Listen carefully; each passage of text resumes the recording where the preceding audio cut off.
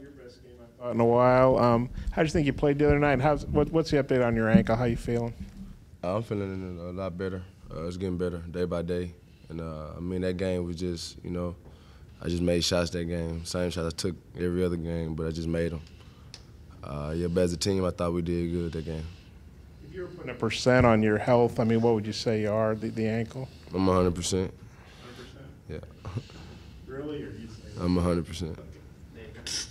For, for both players, just what do you feel you all have to do differently at A and M that you didn't do the first time around?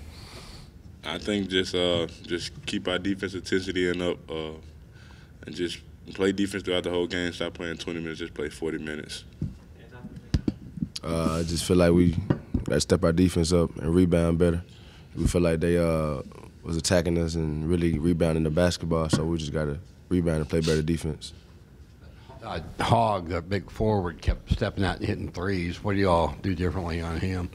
Uh, try to crowd him, you know, try to run him off the three point line and just play better defense.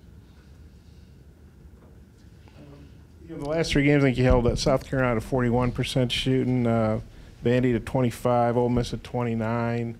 Um, I know that, that they're, they're not Auburn, or, you know, they're not leading the league and stuff, but what, what, what do you think about that uh, field goal percentage defense, and what do you think's been, been the key to that? And, and can you keep, keep it going? I think just staying engaged throughout the game and just holding each other accountable and just taking it as a pride thing. Just if we keep our defense up, I think we're one of the best teams in the country. So if we just keep our defense so we'll be all right. Yeah, we said, you know, just start just being engaged the whole game and just knowing personnel and what we need to get done throughout the game. You know, you know Ole Miss, or uh, LSU scored 94, and you guys were the most anybody scored. Did that game maybe trigger something like, hey, we can't let that happen again, we got to turn it up on defense? Or how did that game impact what's happened since then, do you think? Uh, we, I just felt like we just locked in on defense. You know, we came in with the mindset to play defense from the jump and not just when we're, whenever we get down. You want to?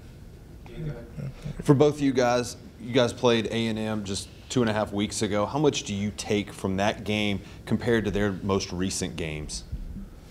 Oh, their games, their most recent games. Uh, I think uh, they've been playing good uh, since they played us, I guess, or before us. They've been playing well. We just gotta no personnel, just play defense, play hard, and rebound. Cause we know that they probably one of the biggest teams in our country. I mean, our league. So I think we just rebound and play defense. We're gonna be okay. Best you guys have seen Darius play. Uh, yeah. yeah. Yeah, that was probably the best we've seen him play. And that, that was a good game for him, for his confidence. Mike Anderson talked afterwards about young energy. You know, you know Darius, uh, uh, Gabe took a shot, you know, and hit it, and uh, um, and obviously Daniel gave you guys good. You know, as, as older guys who've been played a lot of minutes, how much does that help you all when young guys are, are, are helping the team out like that they did?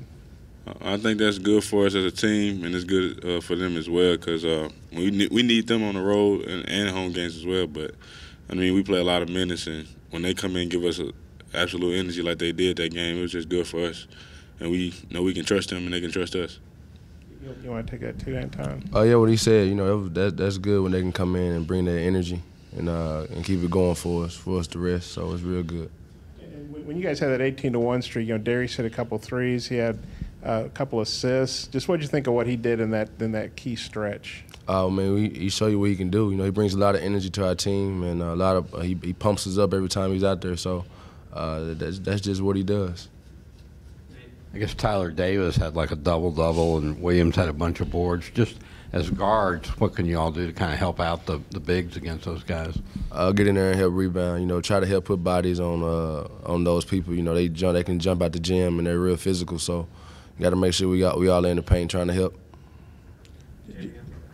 Uh, just, what he said, just help rebounding because when we rebounded, we kind of successful. So if we rebound and at least get the, our hands on the ball and tip it out where we can get it, I mean, it'd be, it'll help the bigs out because they, they are physical and they are very athletic.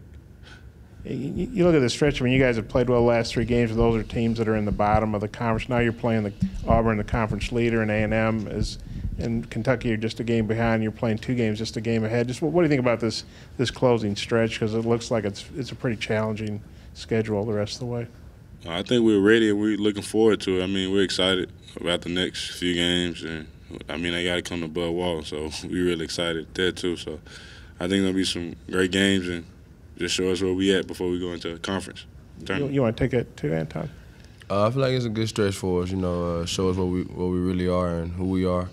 Uh, but if we come out with the mindset of defense first, I feel like we can compete with anybody. So. What do you think of Darius' stretch there in that 18 to one run when he hit those shots and got the assists and rebounds and? I mean, it was good for us. He do a lot of things for us. Um, to be, he's ver- versatile, very athletic, high energy. So that's what we need on our team, and he he does that very well for us. Anton, as a kid who grew up in Arkansas, you've only got three games left inside Bud Walton Arena. Are these three games now a little bit more special for you? Uh, yeah, but at the same time, I'm just trying to get better with my team. You know, uh, but the feeling is there. I know I got three more games left in Bud Walton, so this, this is gonna be a long, a, a good stretch for us.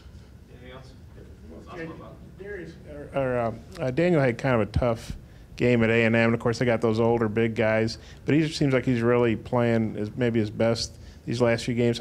What do you think about Daniel's game down there, and how do you think he'll improve maybe uh, you know Saturday against all those Aggies? I mean, I think he uh, he, he didn't just do so bad. It was just the physicality part. I mean, he know what he got to do now. He know um, what he got to do to get the ball or rebound, whatever that they do down there. Because they was banging in Texas A&M, so I think he uh, know what to do now, and just I think he ready for the, the match, the matchup. You want to take that too about Daniel's game there and now what he might be able to do? Uh, I feel like he got a better understanding, so he should be ready this time.